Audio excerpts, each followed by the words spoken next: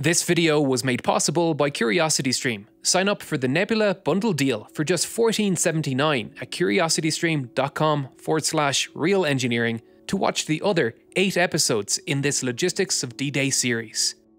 When learning the history of D Day, we are most frequently met with tales of valour of soldiers rushing the beaches.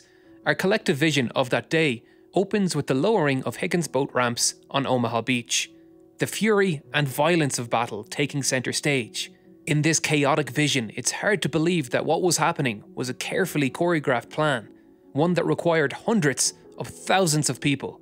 Labourers in factories, merchant sailors transporting goods across treacherous oceans, engineers dreaming up novel solutions to new problems, and of course, the military strategists that conceived the invasion plans. Each played their part in the lead up to D Day. By the end of July, just a little under two months after the first men came ashore, 675,000 personnel were ashore with 150,000 vehicles, 690,000 tons of supplies, and 69,000 tons of fuel. The planning and background support required to make this happen was immense. Some of these men and supplies were airdropped into the fields of Normandy, but the vast majority of these supplies were brought ashore by landing craft, ranging in size from the personnel landing craft, like the iconic Higgins boat, all the way up to massive ships like the LST or landing ship tank. These behemoths could carry 18 Sherman tanks or 33 trucks, with berths for up to 217 troops. These ships would prove invaluable in maintaining the supply chain in Normandy. However, the logistics of direct beach supply came with a host of potential and inevitable delays. All of the landing craft, like the Higgins boat, needed shallow drafts to allow them to get close enough to the water's edge to offload their cargo. This made them incredibly unstable, and in rough seas, many capsized. Some, like the LSTs, had ballast tanks that could be filled or emptied to alter their draft. Filling them to increase their draft for the open ocean, increasing the ship's stability, and emptying them to decrease it and come close to shore. Yet, even LSTs faced logistical problems. Arrive at low tide and you are racing the tide while you unload your cargo into deeper and deeper water. Arrive at high tide and you are racing the tide as it leaves you stranded on the beach until the next high tide arrives. On top of all this, the vast majority of war material was coming from the United States aboard Liberty ships. These ships needed deep water harbours to dock, Without a harbour of this kind in France, Liberty ships were forced to dock in Britain and transfer their goods to smaller ships like the LST. If these ships could simply dock in France, it would save a great deal of time and effort in this logistical supply chain. Cherbourg was prioritised for this very reason. Its deepwater harbour was a key strategic target, and the Allies' choice of Normandy was largely based on its proximity to the Cotentin Peninsula a peninsula which could be cut off from reinforcements from Utah Beach westward. However, this campaign would take some time. The Allies needed a deepwater port as soon as possible.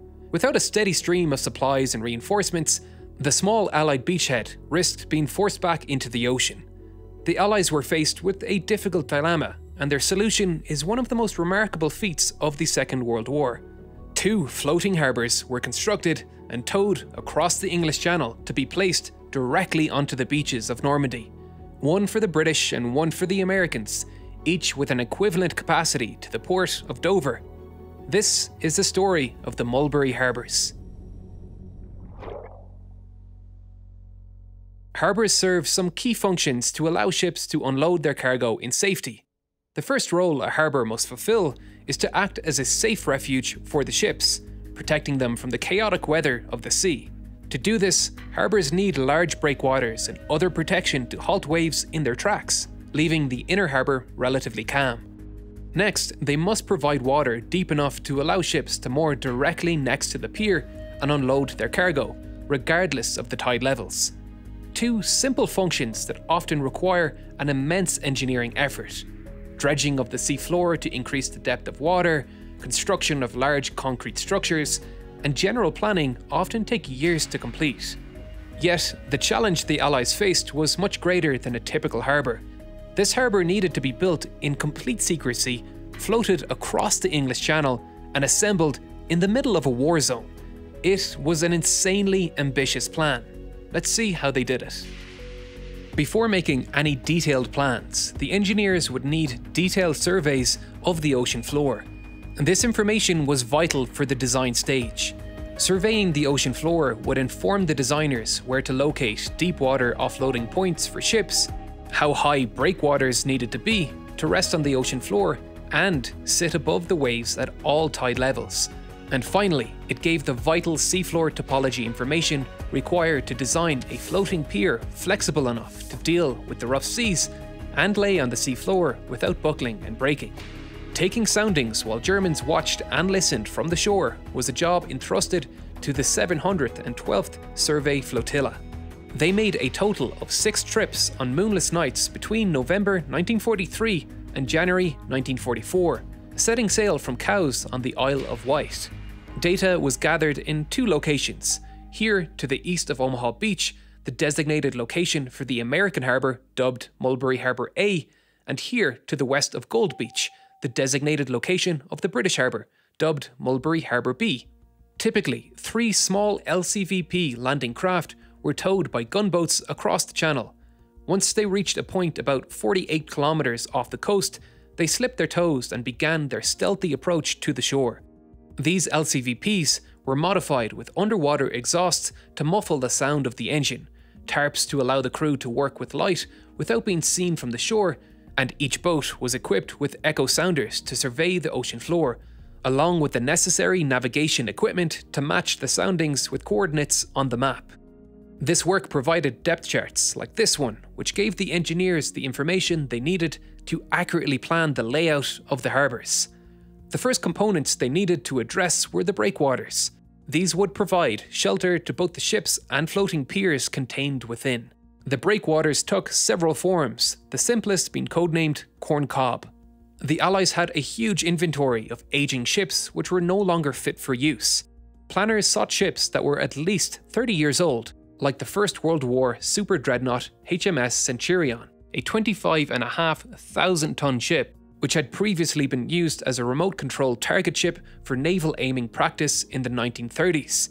It was scuttled as part of the breakwater from Mulberry Harbour A, this was just one of 14 ships that formed what was termed a gooseberry at Mulberry Harbour A. One of these breakwaters was formed at each and every landing beach, shielding the landing beach from the worst of the waves and allowing landing craft to unload their wares in relative calm.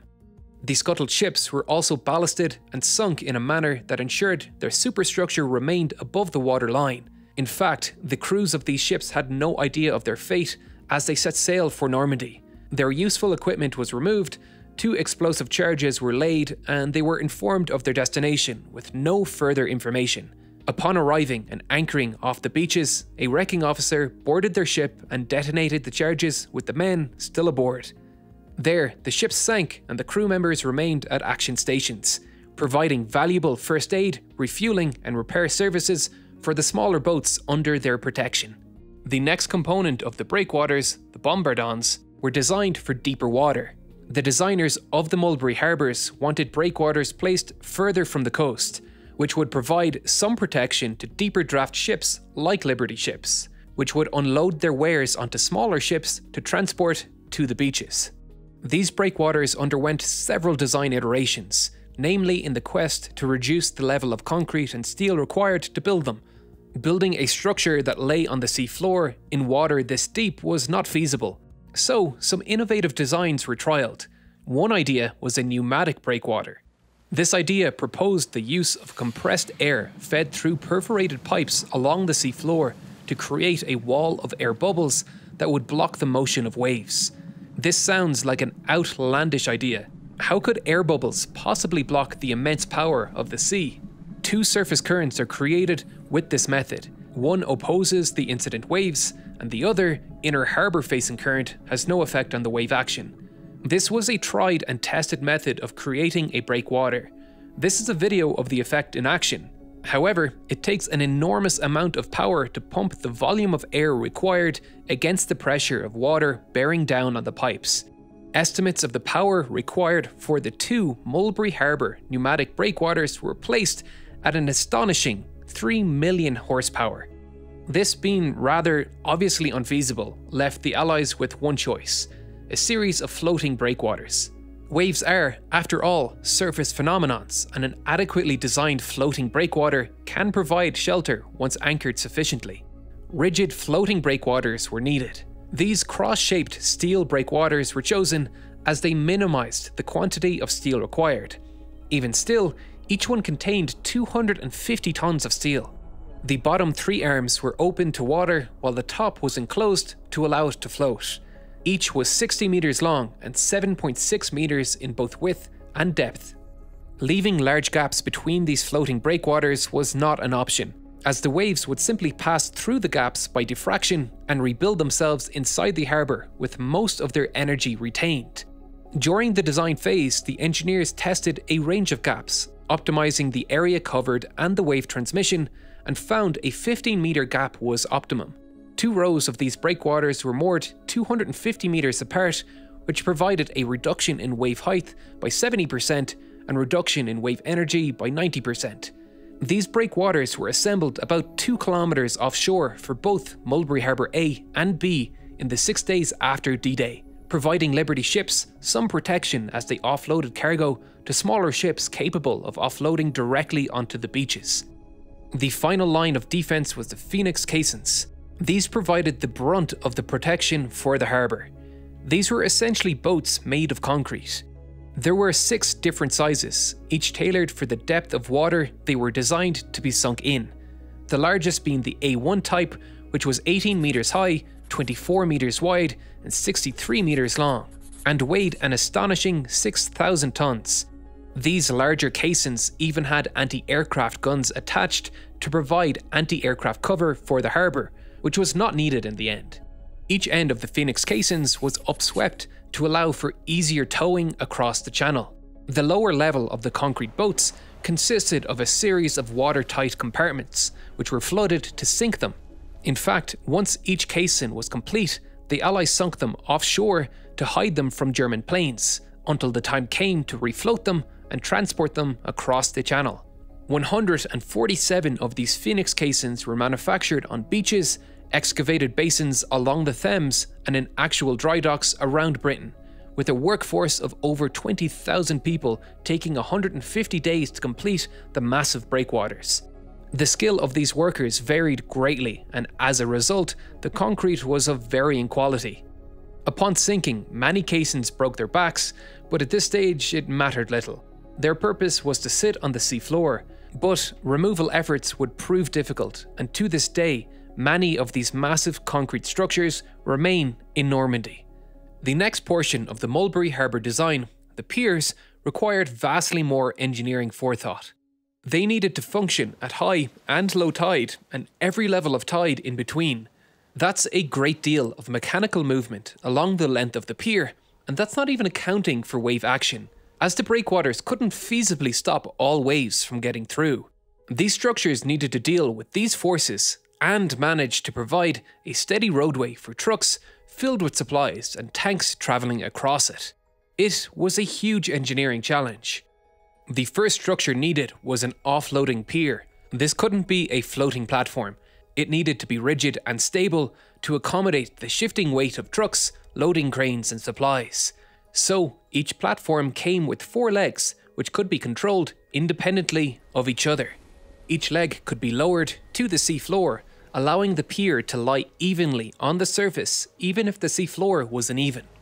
The platform was capable of moving up and down these legs at a rate of about 0.75 meters per minute, more than enough to quickly adjust to tide levels.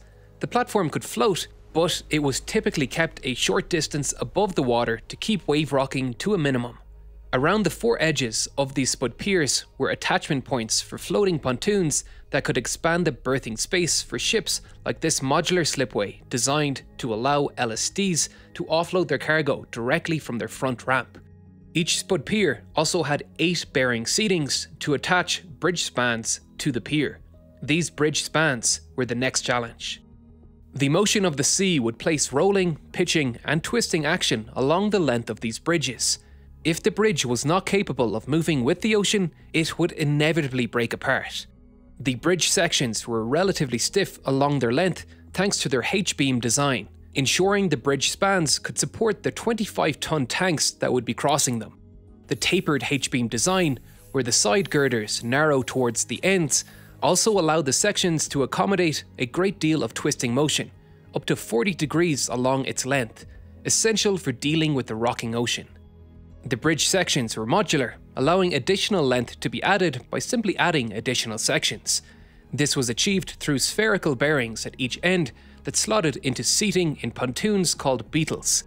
The bearings were designed to allow 24 degrees of deflection between each section, allowing bridge sections to pitch with the waves and accommodate up to 48 degrees of slope when laying directly on the seabed. To ensure the bridge sections were not simply ripped apart, wire cables were attached to the beetle pontoons and wrapped around a hole in the girder's end section. These beetles, like the Phoenix caissons, were primarily constructed with concrete to save precious steel. Only pontoons that would be laid over the tidal zone were constructed from steel, and ones designated for rocky sections of tidal zones also came with adjustable spud legs. These flexible floating bridge sections connected the spud piers to the shoreline and allowed them to operate through the full tidal range without issue. With all of these components designed, tested, manufactured, and hidden from sight, the Allies were ready. As D Day approached, the various components were transported to these locations. Before sailing towards Area Zebra, the entrance point to the shipping lanes the Allies had cleared of mines just a day before D Day. Construction of the breakwaters began on D Day itself. Mulberry Harbour A, the American harbour off the coast of Omaha Beach, was the first to begin and finish construction. The bombardons anchored down on June 6th, and the first Phoenix caissons were in place by June 9th. All corncob ships were scuttled by June 10th, and the entire breakwater was finished on June 11th, just five days after D Day. By June 18th, four spud piers were completed and offloading cargo, with two whale and beetle piers connecting them to the shore. Mulberry Harbour B, the British harbour, was slightly slower in construction. By June 18th, the eastern pier was completed with four spud pier heads, while the centre pier and the LST pier were partially completed. These structures were protected by a partially completed breakwater. Only 25 of the 82 Phoenix caissons were in place by June 18th, with no protection on the eastern or western flanks of the harbour. June 18th is a pivotal date because on June 19th, an unprecedented storm arrived in Normandy and raged for two days. Winds tore down from the northeast through the Strait of Dover, with waves as high as 4.5 metres being reported, far exceeding the maximum design expectation of 2.4 metre waves. It is said that this was the worst storm the region had seen in 40 years. The American harbour, Mulberry A, was completely broken beyond repair. 21 of the 28 Phoenix caissons were destroyed, with four more being badly damaged. The whale and beetle piers were smashed and twisted by the lashing waves. Seven of the 13 block ships broke their back, while others sunk below the waves as a result of the ground below their hulls being swept away. Bombardons and ships alike had broken their moorings and drifted ashore, sometimes crashing into the harbour itself and causing further damage. Mulberry Harbour B, by some miracle, avoided the worst of the waves thanks to the natural breakwater of Rochers du Calvados, located directly in the path of the waves. However, this did not save the Bombardon breakwaters located further to sea. These were broken apart completely, and many came ashore to the west of the harbour, while six of the 25 caissons already in place were destroyed. Three of the four pier heads were also damaged, but not beyond repair. Parts were scavenged from Mulberry A to not only repair Mulberry B, but to strengthen it. Mulberry B, soon to be dubbed Port Winston, took whale bridges from Mulberry A to construct a second stores pier, an LST pier, and a shorter pier to allow rhino barges to offload. By the end of October, 40,000 vehicles and nearly a quarter of a million personnel used this harbour to come ashore, while an average of 7,000 tonnes of supplies were discharged every day an immense effort, far exceeding the original plans. In fact, the harbour operated far beyond its original operational target date. Breakwaters were reinforced with an additional 40 Phoenix caissons. This extra protection allowed Port Winston to stay in continual operation through the autumn and winter until its closure in December 1944, by which time the capture of Cherbourg, Dieppe, Ostend, and Antwerp made the use of temporary harbours unnecessary. Detractors of the harbours point out that the US forces managed just fine without the Mulberry Harbour, thanks to a greater than expected performance from the LSTs and other landing craft capable of supplying directly onto the beach. Omaha Beach was managing 10,000 tons of supply per day at its peak, while Port Winston achieved 6,750 tons per day at its peak. This criticism ignores the need for landing craft in the Pacific War and upcoming southern invasion of France, not to mention that redundancy and planning for the worst is a vital part of war logistics. With a foothold in Europe established, the Allies could begin streaming into the continent. Two months of intense fighting in Normandy was fueled by these supply lines. Inch by inch, the Allies scraped forward, but by the end of July, the tides turned. The breakout arrived, and the front line began to race ahead of established supply lines. Operation Cobra drove south towards Brittany, reaching its border by July 31st. By August 7th, Brittany was overrun. By August 25th, Paris was liberated, and by September 15th, nearly the entirety of France was free, while the Allies pushed towards the German border. But this rapid advance brought with it new problems. Supply lines from the harbours to the front line were being stretched, and they would be on the verge of breaking until Antwerp could be captured. The Allies had been successful in their campaign to cripple German supply lines prior to their invasion, but this was the very infrastructure they now needed. Vital train supply lines would take time to reconstruct, and the Germans were readying themselves for one final massive counter-offensive the Battle of the Bulge. This battle would test the Allied supply lines to the limit, and without one simple but pivotal innovation, the Allies could have been stopped in their tracks the Red Ball Express, which is the subject of the final episode of the Logistics of D Day series, available exclusively on Nebula. This series has been a passion project of mine for the past nine months, and the episode you watch today has featured tidbits from each of the nine episodes. We have an entire episode on why Normandy was chosen, which is also available here on YouTube. The seven others are exclusive to Nebula and include episodes on the deception tactics to keep things like the Mulberry Harbour secret, an episode detailing the methods the Allies used to clear a way through the minefields of the English Channel and subsequently punching a hole in Fortress Europe, an episode each for the amphibious and airborne landing operations, one detailing the close air support logistics where engineering battalions rushed ashore on D Day to construct new airfields, another detailing the insane oil supply pipelines that were laid across the English Channel on D Day. This series, which is over two hours long in total, would not have been possible without the funding and support of Curiosity Stream and Nebula, the streaming platform I created with over 100 of my fellow YouTube creators. The best way to watch and ensure that future projects like this can be funded is by signing up for the Curiosity Stream and Nebula bundle deal. Here, you'll get a year's access to both platforms for just $14.79 a year. An insane deal that will get you access to this series, ad free videos from your favourite YouTube creators, Nebula exclusives like Tom Scott's Money, and access to Curiosity Stream's award winning documentaries like this one called Hidden Traces, which explores the scars of D Day still present in Normandy, like those massive concrete breakwaters, many of which remain in the shallow waters of the Seine Bay to this day. For now, we are taking a break from this series and will begin working on upgrading our animation abilities and researching for Season 2. We want to hear your suggestions for the next battle we should focus on, but for now, I am veering towards covering the logistics of the Battle of Britain, an aerial war that tested two nations' ability to not only build planes and train pilots, but tested their wartime planning and strategy. A decisive battle that turned the tide of World War II and prevented the Germans from gaining the air superiority needed to begin their own amphibious invasion of Britain. If you want to see that, please sign up for the Curiosity Stream and Nebula Bundle deal. As always, thanks for watching and thank you to all my Patreon supporters. If you'd like to see more from me, the links to my Twitter, Instagram, Discord server, and subreddit are below.